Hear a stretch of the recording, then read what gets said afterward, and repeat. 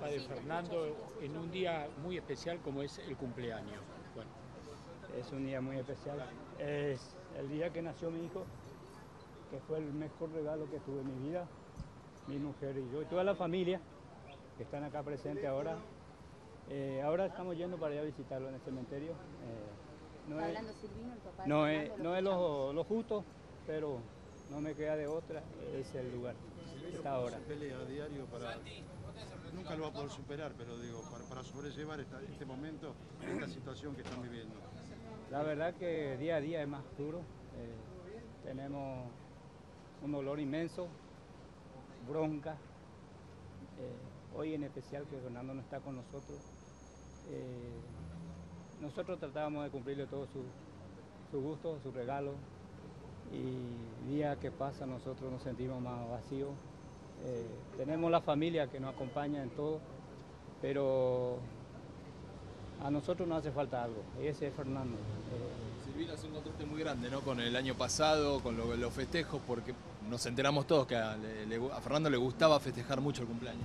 Sí, la verdad, porque a esta hora mi mujer ya estaba preparando torta, sándwich, eh, gaseosa, cargándolo en el carrito para ir a festejar en la plaza con sus amigos. Eh, él no pedía un salón, no pedía una discoteca, él era un chico que le gustaba pasar en el aire libre eh, con sus amigos, con sus compañeros. Eh, es difícil, es difícil ver a toda mi familia que viene cada 15 días y, viene a vernos. Eh, pero no está, Fernando no está. Eso es lo más difícil. Nosotros tratamos de sobrellevar como podemos, porque no tenemos otra forma, no tenemos consuelo.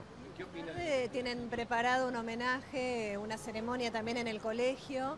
Eh, ¿Qué espera de eso, digamos, de ese momento? ¿Los, los han acompañado desde el, el primer minuto ustedes? Sí, del colegio y todos los, los compañeros, los padres del colegio que se, pre- se preocuparon, se ocuparon, estar siempre con nosotros. No tenemos palabras de agradecimiento para ellos. ¿Van a estar presentes ustedes en la ceremonia?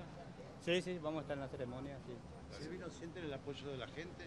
Sí, sentimos el apoyo de la gente. eh, ¿Les da- les no- da un poco de ánimo? Nos hace sentir el apoyo, nos da ánimo, nos hace recuperar, no, no volvemos a caer, pero eso es normal, no ¿Y la investigación acompaña lo que ustedes creen que se debe hacer? ¿Están de acuerdo con cómo se está investigando el caso? Sí, seguro que sí, porque para eso están los jueces, están el fiscal, están los abogados. Eh, sabemos muy poco de eso, sabemos muy poco, pero creo que están en buen camino. Según ¿qué abogado. decir de, de- de Julieta, que bueno, ahora está en el cementerio con, con Graciela, que escribió una carta muy sentida hoy también?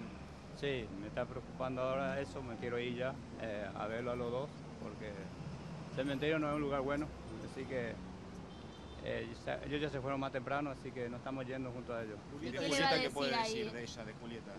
Julieta es una chica maravillosa, eh, lástima que el amor de su vida no está.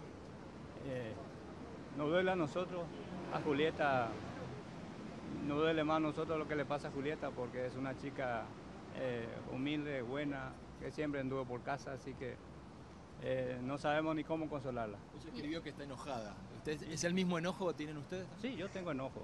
A mí me corre sangre por la vena. y No te puedo decir otra cosa. Pero hasta que la justicia haga todo su trabajo, yo no puedo andar diciendo cosas que no debo. Y ahora cuando vayas al cementerio y estés ahí frente a la tumba, ¿qué tenés ganas de, de transmitirle hoy, un 2 de marzo? ¿Qué le dirías? ¿Que van a seguir buscando justicia? ¿Cuál es el mensaje? Exactamente, sí. Podría saludar a mi hijo, decir que estamos de pie todavía luchando hasta que se consiga justicia por Fernando y por todos los chicos que necesitan justicia. Pero la verdad a mí no me gusta ir al cementerio, así que me voy atrás de mi mujer a acompañarlo, a mi, con mi cuñado todo, pero no, no me gusta ir. Eh, Creo que Fernando no está ahí. Señor, usted decía que le eh, gustaban mucho festejar. ¿Qué estarían haciendo hoy, por ejemplo? Y hoy lo que está es la- para celebrar la misa de su cumpleaños y después cenaremos con amigos, tíos, padrinos y nada más. Eh, es difícil decir que vamos a festejar, vamos a comer algo porque eh, creo que hasta ahora no sé qué gusto tiene la comida, cómo por eh, seguir sobreviviendo. Pero vida, para decir tener una vida, no, no tenemos vida. Y le agradezco mucho que estén acá, eh, quiero ir a ver a mi mujer, así que discúlpeme por todo. Gracias, Gracias, Silvino. gracias.